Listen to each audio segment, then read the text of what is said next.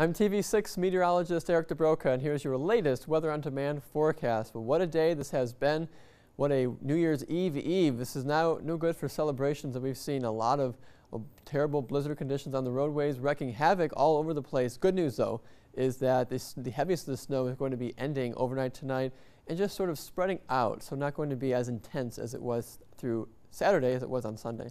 Uh, for cold still going to be really high, though, as far as the impacts for your New Year's Eve and also for your New Year's Day as well. Wind chills are going to be pretty high, but the wind itself going to be calming down, which is certainly good news for all of us here. The wind chills are not going to be just brutal like they were earlier in the week and even last night. There are no advisories in the UP. However, going into Wisconsin, there are where we will be seeing readings between minus 20 to minus 30 degrees real feel on your skin. Warnings, advisories still in effect though for snow, and that is all the counties, especially for the north. I'll say eastern Marquette County and Alger County. This is going to be Sunday evening into Monday morning. We're talking about more snow, several inches of accumulation likely, especially for northern Schoolcraft County there in the winter weather advisory and areas across the west as well. Ontonagon and Gogebic also expect more inches of snow, but the good news here is the Keweenaw Peninsula is now out of the advisory. And check out the ribbon of moisture that crossed over Lake Superior earlier this morning, and it was intense. The banding was pretty sharp and did make it pretty far south also into Marquette County. But notice how the last hour or so, last several hours, the moisture starts to fan out as drier air is now funneling in over to the east, and that's going to help continue to push the snow showers back to the east. So areas tonight towards Munising and M28, just be careful if you have to travel anywhere around the area, although M28 is closed, which has been closed for exactly that reason. All these indicate storm icons or snow accumulations and sometimes in excess of three to four inches on the low end, but in the Keweenaw Peninsula, 18 inches in the last 24 hours there, uh, close to Calumet. Negaunee had 6.2 inches. We have accumulations also in Autrain of about a half a foot of snow. Wind, that's another big issue with this type of uh, storm system. It was extremely windy. We had gusts in excess of 30, 40, and there was one there and over 60 miles an hour in near Sands. And there was Painesdale marking out or topping out the list there at 15.1 inches of snow. A foot of snow additionally fell in Toivola with wind gusts in the Keweenaw Peninsula towards Copper Harbor at 46 miles an hour. All in all, just not a great day to be outside. Good news is some of that is going to be changing in our favor, at least for a little bit, on New Year's Eve into New Year's Day.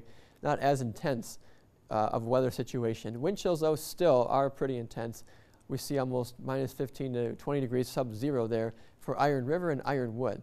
Putting your snowfall future cast in order here, notice how this, the bands of snow do eventually continue to shift off to the east as drier air works its way in from the west and the winds shift back to the northwest and that means those usual suspects all winter long that we normally see areas along M28 to Deerton, Autrain, and Munising, we're going to be seeing more snow and then throughout the day on Sunday, we're going to be seeing also more snow for the Keweenaw Peninsula into New Year's Day. But otherwise, it's going to be pretty calm, quiet, and cold as temperatures will be in the single numbers both days.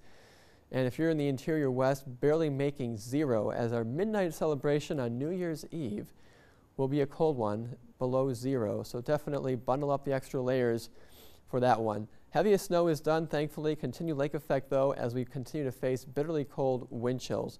Here was your high of the day, 11 degrees, and again, a frigid one, topping out 12 degrees below the average in another night below zero. Still, actually, was a far cry from the record of 1976.